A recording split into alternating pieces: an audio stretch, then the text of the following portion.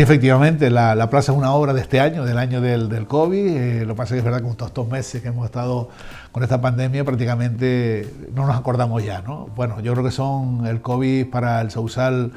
ha sido un problema bastante importante, donde en el primer momento pues intentamos ayudar a las pymes, porque creo que en el municipio de Sausal es un municipio pequeño, donde hay demasiadas empresas, eran 300, cerca de 340 empresas, que le ayudamos a casi todas eh, con una ayuda económica. Fuimos de los primeros, posiblemente de Canarias, en dar esa ayuda directa, que fueron, estamos hablando, entre 1.000, entre 600 y 1.000 euros, y mm, la inversión fueron 160.000 euros en un municipio pequeño. Creo que ese fue la... Fue el sector de la hostelería, todo, es decir, desde autónomo, desde gente que trabaja en casa, desde autónomo, restauración, comercio, es decir, en general, a todo lo que dependían de, las de las personas, de tener los negocios abiertos. Entonces, según el número de, empleados, la ayuda fue un poquito más, un poquito menos. Digo, estamos hablando entre 1.000 y 600 euros, que eran las ayudas. También es verdad que en ese momento atacamos muy bien el tema de la desinfección en los centros de nuestro municipio, especialmente pensando en los mayores de la Casa Acogida María Redentor, el centro de, discapacidad que tiene nuestro pueblo, la Sagrada, lo que tenemos también en, Los Ángeles, es decir, que eran muchos centros donde dependían muchas personas y muchos mayores de, nuestro pueblo, pues ahí creo que lo, hicimos bien también, eh, con el tema de que mantener, pues que no hubiera ningún caso de COVID, no se usar hasta este momento en, en esos centros. También eh, empezamos con un plan de empleo donde 25 personas empezaron a trabajar también en, eso, en esos momentos y creo que nosotros, bueno, esa parte del COVID como municipio creo que actuamos pues con seriedad y como los vecinos se merecen y esperan siempre de una administración pública, ¿no? Yo creo que, en esa parte, bien. Ahora en este momento, como dices la, la nueva normalidad, la nueva normalidad pues trabajamos en esos meses pues especialmente en los colegios. Hablamos de junio a... Eh, ahora, ahora. Eh, especialmente en los colegios, con las obras de los colegios, para tener en los colegios los mejores preparados posibles para cuando empezaran las clases, pues fuera, el, impacto fuera lo mejor posible. Pues igual, gracias a Dios ha habido algún caso de, de, COVID en alguno de los colegios de nuestro municipio, pues bueno, ya se detectan, eh, pasa la cuarentena y vuelven otra vez los niños o niñas al colegio. Pero lo que es la parte nuestra, la parte del ayuntamiento, de la desinfección, de tener las obras preparadas, las obras preparadas, eso creo que fue importantísimo, importantísimo en la, nueva normalidad y también gracias a los vecinos, porque creo que también hay que agradecer a los vecinos esa parte. Y en esta vez también los colegios e institutos eh, estuvieron trabajando prácticamente todo el verano, todo el verano, especialmente las, direcciones de, ellos, para que las cosas estuvieran, bueno, creo que la nueva normalidad funcionara. Nosotros, todo este mundo, desde, el COVID hasta la nueva normalidad, con todos, todos estos meses, pues sí es verdad que eh, en nuestro pueblo hemos intentado hacer cositas para que la economía no se pare, es decir, hacer actividades, especialmente la actividad cultural desde a través de nuestro teatro, o verano de cuento, que lo hacíamos en la escalinata en el mes de agosto, verano de cuento infantil, o la feria de artesanía, ponga artesanía en tu mesa, que organizaba el Cabildo, fue la primera artesanía que se hizo después del COVID, en nuestro que tuvo un éxito total de público, muy bien organizado, bastante bueno, controles para que las cosas funcionaran, y seguimos con la programación cultural del, del teatro, una programación muy estable, muy estable, y con muchísimas cositas para que la gente también venga a nuestro pueblo, porque la cultura no solo mantener a los artistas que también tienen que comer, como se suele decir, tienen que seguir viviendo, pero también es que nuestro pueblo eso nos da la economía a nuestros restaurantes, a nuestras cafeterías, para que nuestro pueblo siga avanzando. Creo que han sido medidas importantes para que, bueno, también son los aforos limitados, que estamos hablando de un teatro que caben cerca de 500 personas, pues solo 140 son los que pueden entrar. En la feria de artesanía solo pueden estar 225 personas dentro de la feria y van saliendo y entrando. Es decir, todas esas medidas para que las cosas funcionaran y gracias a Dios de momento, como decimos en, los pueblos, vamos a tocar madera, de momento eh, van funcionando en nuestro pueblo, en el municipio de Sausar. Sí, la verdad que sí, la cabalgata pues no la vamos a hacer, no la vamos a hacer en la calle porque sabemos, bueno, son muchas, muchas miles de personas las que se desplazaban al municipio de Sausal, muy difícil encontrar esas miles de personas y que lo que estamos intentando, pues intentar el día anterior del día 5 de, enero, pues el día 4 hacer una cabalgata por todo el pueblo donde los pajes de Su Majestad los Reyes pues recibirán a los niños para recoger las cartas y el último día posiblemente esa cabalgata vuelva a repetir con los, Su Majestad los Reyes que vienen al Sausal para que recorran el pueblo sin bajarse, sin bajarse en ningún sitio, y saluden a los niños y sobre todo eh, diciéndole que, van a estar, que van a estar ese, en ese día tan especial a los niños y las niñas, que no se preocupen, que no se preocupen si hay un niño o una niña oyendo, que los reyes van a venir, su majestad los reyes van a venir a Sausal, como a toda la isla, como a Canarias, como a España, pues van a venir y van a dejarle esos regalos que tanto desean, que tanto desean, y vamos a intentar desde las administraciones públicas hacer todo lo posible para que sus majestades estén aquí con nosotros. Sí, efectivamente, nosotros estamos haciendo las desinfecciones semanales en los colegios, el Colegio de Ravelo, el Colegio Zamoga, el Instituto de Ravelo, el Instituto San Nicolás, los centros de salud, los parques infantiles, las zonas, los entornos, especialmente los colegios, y semanalmente estamos haciendo esa, desinfección. Eh, y creo que se agradece por parte del, profesorado, de los padres, de, la comunidad educativa, de los vecinos, de que eso sea así. Nosotros ahí de verdad que no vamos a... Es la prioridad en este momento, es, aunque se quede alguna calle sin limpiar, el vallado sin cortar la zarza, pero bueno, que esperen un poquito, pero vamos a dedicar ahora el máximo tiempo a la desinfección para que los alumnos y alumnas de nuestro municipio y de los centros de salud, de las farmacias, de donde va, donde va mucha gente, esté lo mejor posible. Bueno, nosotros la verdad que tenemos eh, empresas, en este caso pues eh, la empresa Urbacer, la que nos lleva la limpieza viaria, pues esta es una empresa que está preparada y tú bueno, le pides esos servicios y lo podemos hacer bueno, más, más fácil. Lo único es reorganizarnos de lo que estamos haciendo antes para esta nueva eh, normalidad, están, hay que adaptarlas a, los nuevos tiempos. Por eso nos pasa también con la, cultura. Son actividades que están haciendo durante muchos años en nuestro pueblo, no de ahora, desde el año 79 el Seusal ha apostado por la, por la cultura y lo que un poco lo que hacemos es organizarlo para que las cosas, para que las cosas funcionen. Sí, en este momento ya está el proceso para, para licitar, para licitar el, nuevo cementerio de cerca de un millón de euros en La que en este caso está, el que conozca el municipio del Sausal, está en la mitad, es decir, ni en el Cajo ni en Ravelo, sino en la zona de Bodega Monje, en la zona de medianía, va a ir el cementerio ahí. ¿Y por qué va ahí y no va en otro sitio? Porque los cementerios ya son temas sanitarios que no, pueden ir en los núcleos de población, si tiene que estar alejado de las poblaciones, donde están las personas. Entonces tiene que ir en sitios donde están libres y esto nos ha costado desde el 2005 que vamos trabajando para que esto sea una realidad y 15 años después pues ya se ha sacado ese proyecto a, licitación, está en este momento en licitación para hacer ese proyecto. Pero lo mejor de todo es que en el COVID hemos solucionado el problema más grave que ha tenido el Sausal en los últimos 10 años, que es el agua.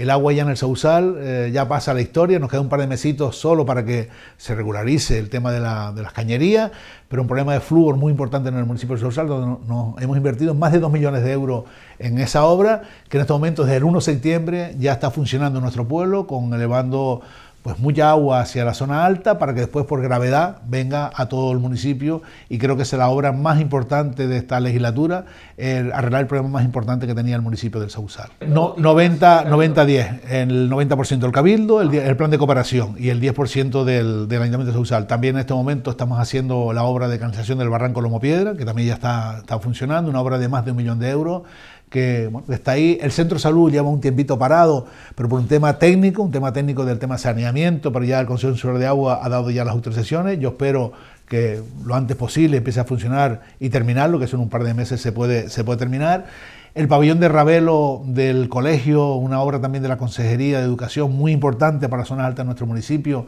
En este momento están ya lo que es poniendo lo que es el, forro, el, cascarón, y la verdad que va a quedar espectacular ese, pabellón precioso, el pabellón de Nuestra Señora de los Ángeles de Ravelo,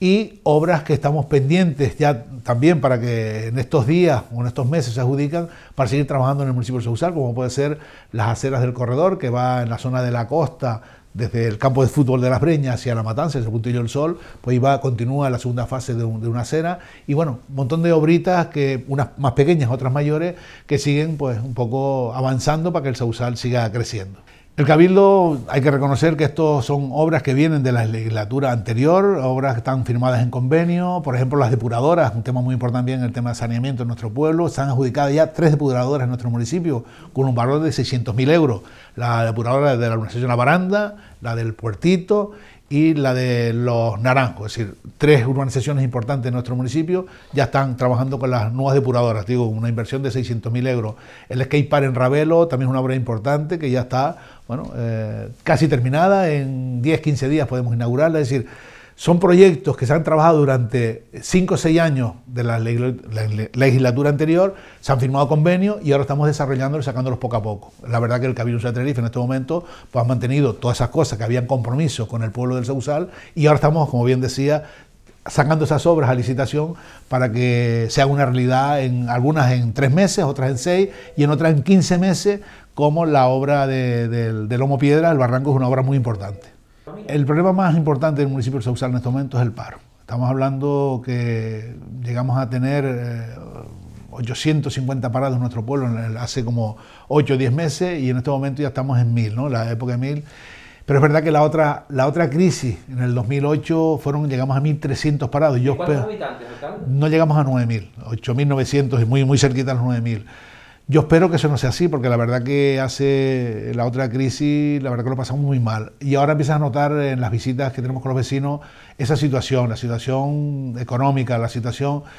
La verdad que ahora estamos en un momento de, de, espera, de espera efectivamente por el tema de los ERTE, ¿no? Hay mucha gente que está en ERTE y está en ERTE y la gente está cobrando y de momento como está cobrando puede salvar la situación, pero desde que los ERTE no estén, desde que la situación cambie, creo que la situación puede ser muy muy difícil y tenemos que estar preparados. Por eso nosotros los servicios sociales pues ahí nos reunimos cada semana para que esa, esa parte esté muy controlada, que estemos muy atentos a las personas con necesidad para poder ayudar y gracias a Dios hasta este momento los servicios sociales de nuestro municipio están funcionando bien y hay ninguna persona que no se la ha dejado de atender por, por, ni por alimentos ni por hay alguna ayuda económica puntual, es decir, estamos ahí pues trabajando mucho, mucho, muy cercano con las personas y creo que ese es nuestro deber en este momento. Sí, efectivamente, por supuesto, el municipio de Sausal aproximadamente de 8 millones de euros, 8 millones de euros, eh, prácticamente, bueno, los 160.000 euros que hemos dado a los empresarios, a las pymes de nuestro pueblo, pues fue de la partida de fiesta,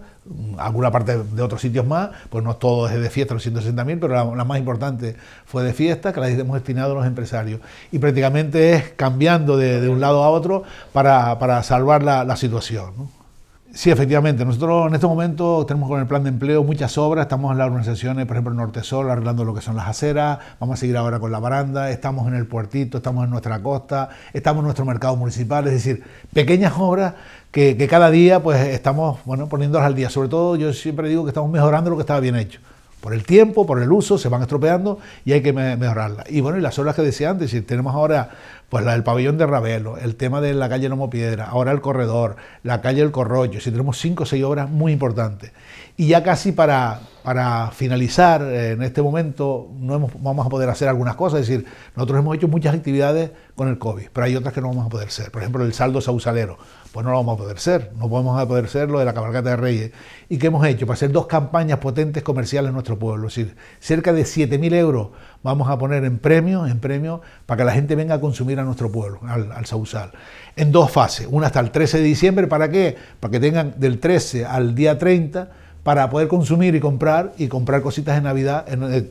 de, de, bueno, de la gente, porque son vales para volver a comprar en nuestro comercio. Es decir, tú te sacas el premio en nuestro pueblo por un premio de 500 euros o de 400, de 300, de 100 y tú compras nuestras tiendas de nuestro pueblo y vuelves otra vez a invertir. O sea, hacemos una hasta el día 13 de diciembre y otra hasta el 6 de enero. Dos campañas que entre las dos suman aproximadamente 7.000 euros en premios, 7.000 en premios. Y lo mejor que tiene esta campaña que los empresarios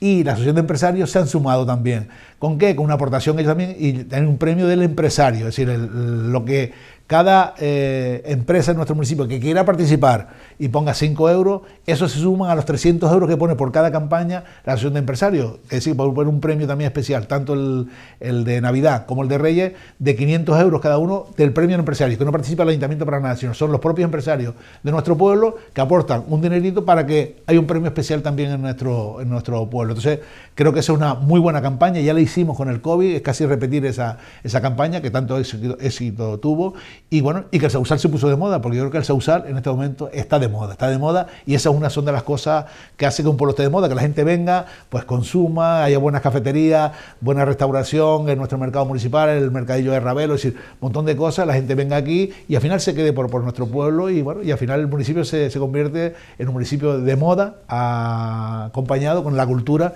que es lo que hace el otro complemento para que la gente venga a nuestro pueblo. Efectivamente, sí, yo creo que esto es una, hay que darle, hay que moverlo, hay que ilusionarse, yo sé que la situación es difícil, pero si todos agachamos la cabeza, si todos nos miramos, hay que mirar hacia adelante y entre todos, entre la administración, entre los propios empresarios y colaboramos, entre todos, pues hacemos que venga gente a nuestro municipio de Sausal con todas las medidas COVID, que la gente haga las cosas que hay que hacerlas bien para que las cosas no, haya contagio. Pero bueno, creo que estos son los movimientos que tenemos que hacer, no solo el ayuntamiento, sino los propios eh, empresarios, eh, la ciudadanía en general, para que un pueblo siga avanzando. Y no podemos, porque si no, nos hundimos entre todos. Yo creo que aquí hay que mirar para adelante y seguir avanzando. Y aquí creo que tenemos un equipo con ganas, con ilusión para que eso, que eso ocurra. efectivamente, que sí es un tema bastante complicado y bueno, yo, claro, cuando estábamos ahora hablando y me recuerdo al 2013, esa situación de, de 1.350 parados en nuestro pueblo y bueno, que es muy grave esa situación y espero que eso no, se repita, que espero que no se repita.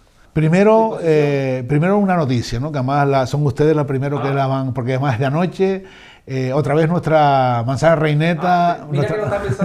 nuestra, manzana reineta, pues ha ido otra vez al concurso Asturias con la sidra La Posma y ha vuelto a ganar otro primer ah. premio. Es decir, ya, ya, eh, ya son cuatro, porque fue el 2014 un primer premio, el 2016 un tercero, el 2019 un primero con la Brut. Pero es que ahora han ido con otra modalidad, con, con el tema de una sidra dulce, eh, dulce y han ganado otra vez el primer premio en este fin de semana en, Asturias. Y bueno, creo que estamos enhorabuena en el municipio del Sausal porque la gente sabe que intentamos pues que este producto que no es fácil, digo, la asociación lo está, lo está, pasando mal, es complicado. Este jueves tenemos una reunión en el Cabil, en el la Casa del Vino con un montón, con los alcaldes de la comarca, con el Cabildo, con GMR, con un montón de personas, para que somos capaces entre todos sacar este proyecto y creo que la mejor noticia que puedo llevar yo el jueves o puede llevar la Asociación de la Manzana Reineta de Tenerife a esa reunión es que es una sidra puntera que ha ganado en los últimos cinco años cuatro premios y es, como decía el anterior presidente de la Asociación de Manzana Reineta de Tenerife, es como ir al Sausal a jugar al campo del Madrid o jugar al campo del Barcelona y ganarle, pero ganarle en el campo de ellos, no ganar aquí. Entonces, creo que tenemos que apostar por este producto eh, nuestro, por este producto que aunque mayoritaria está en el Sausal, no solo el Sausal, es la, efectivamente es la comarca Centejo, del Rosario, de la zona del Valle, hasta porque sé que hay muchos manzanos también en la Rotava, es decir, en toda nuestra isla, por eso la Asociación de Manzana Reina de Tenerife, y tenemos que apostar por este producto porque da un excelente caldo, que es esta sidra La Posma, que bueno, que tantos eh, premios nos está dando a, nosotros. Y un poco la pregunta que me hacías, pues nada, yo creo que hay que tener tranquilidad, que cuando la gente se necesite agobiada y necesita un apoyo, pues tiene que venir a su, a su ayuntamiento, tiene que venir a los servicios sociales, hablar con la concejal, hablar con los técnicos de servicios sociales, para dentro de nuestras posibilidades intentar ayudar. Aquí estamos para ayudar, aquí no estamos para, para fastidiar, no estamos sino para ayudar. Y ese es nuestro papel en este momento. Y cualquier persona que su situación hace seis meses era muy buena y en este momento no es muy buena, pues hay que atenderlo. Y no hay que tener ni miedo, ni, sino hay que venir, hay que venir, hay que venir. Y después ya, por supuesto, lo, se analiza situación personal de cada persona, pero creo que ese es el mensaje. El mensaje es que acudan a, nosotros, a las administraciones, para intentar ayudarle dentro de nuestras posibilidades. A los que están más o menos que pueden escapar con el comercio, la restauración, oye, es que sigan manteniendo esa seguridad en sus restaurantes o en sus cafeterías o en sus negocios para que no se, para que no se cierren, para que estén activos. Y a los vecinos, pues nada, estamos en un momento complicado, muy complicado y no depende de las administraciones públicas, no, no depende de la política, depende de todos nosotros, nosotros y ustedes. Por eso el mensaje es de tranquilidad, pero al mismo tiempo también de mucho control y de mucha responsabilidad. Creo que termino la palabra diciendo mucha responsabilidad, pero de todas partes.